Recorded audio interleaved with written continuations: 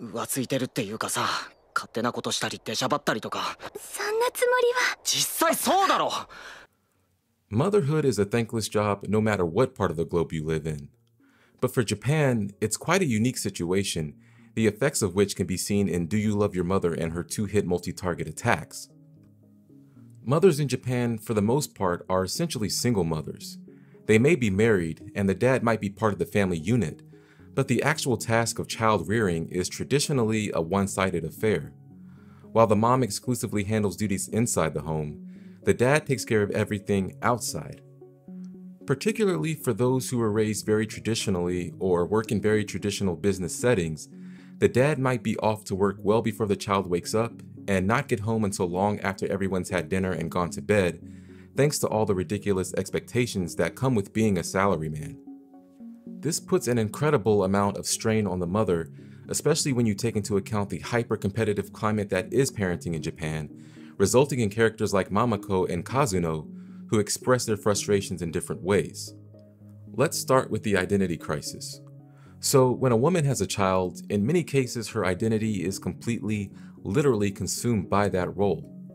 It's not uncommon for a woman to even be called okasan, the Japanese word for mother, by her own husband.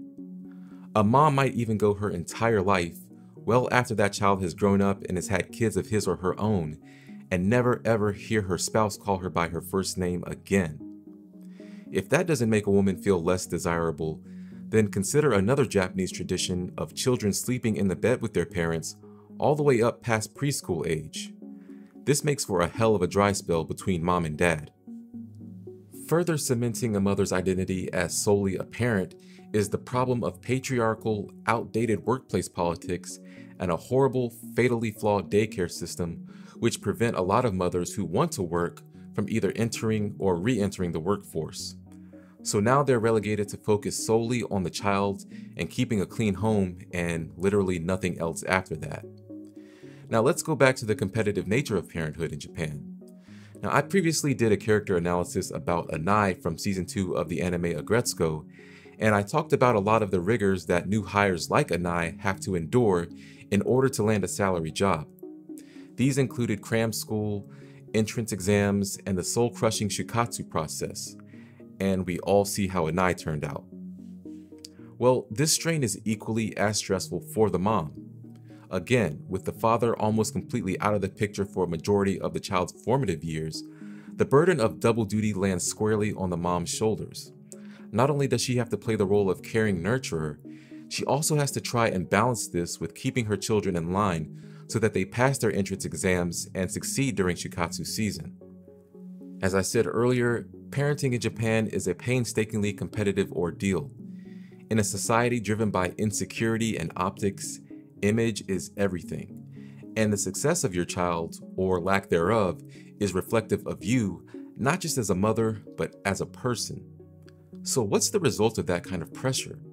Well, resentment. For Mamako and Masato, the resentment falls more on the son's side.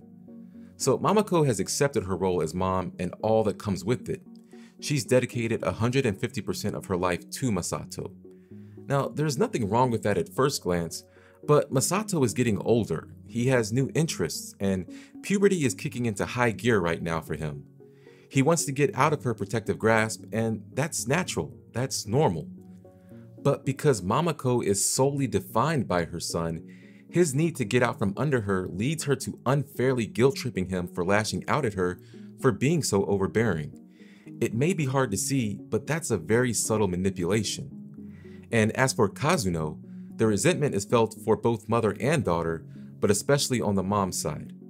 Kazuno hates that she had to give up her identity to be a mom when she felt she could have been that and much more while her daughter Wise is mad at her mom for divorcing her father because of what Wise perceives to be selfish reasons, which Kazuno is now acting out in a very destructive way in the game world. So now Mamako and Kazuno have their showdown, and while Mamako gave a touching speech about what it means and how it feels to be a mother, I still had a hard time with this scene framing Mamako as strictly a good mom and Kazuno as strictly a bad mom. Yes, Kazuno said some disgusting things to her daughter, but in the context of the society in which these two mothers live, I couldn't help but feel that they are really just two sides of the same coin. Both Mamako and Kazuno are both products of a system, a tradition that restricts them from being the kind of moms that they could or maybe even want to be. I don't think either is completely right or completely wrong in the justification of their actions. Luckily, it seems that in the wake of their battle, Kazuno and her daughter Wise have at least found some middle ground to build on back in the real world, while Mamako and her son Masato still have a bit to learn. Hopefully for Mamako though, that lesson is on how to loosen the reins a bit and find purpose outside of her son, while Masato learns to appreciate her plight and efforts a bit more. Well, that's my opinion on things, but I want to know what you guys think of Mamako, Kazuno, and their kids in the comments below.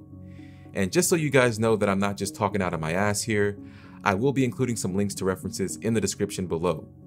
And if you want to see Masato's likely future, click the top right thumbnail for my video about Anai from season 2 of Aggretsuko. I'll be back shortly, but until then, sayonara suckers.